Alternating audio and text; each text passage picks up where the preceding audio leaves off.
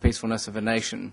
And all of those, you might say, are in vertical silos. What we did this year is we commissioned uh, a couple of um, PhD or a professor and a, and a doctor at uh, the University of Sydney to look at it horizontally. In other words, to look at all the data that exists in the model and try and find themes or factors, factor analysis, that run through the Global Peace Index that are statistically strong but are also somewhat independent of each other, so that we can start to see what actually moves a country to become peaceful.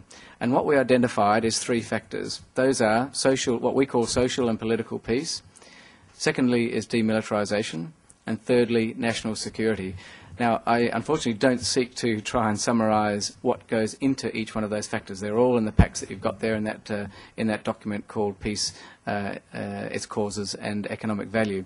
Suffice to say that that is a completely different look at the GPI than just a ranking of countries. As I say, it's a horizontal evaluation of it and stands up to rigorous evaluation by statisticians externally.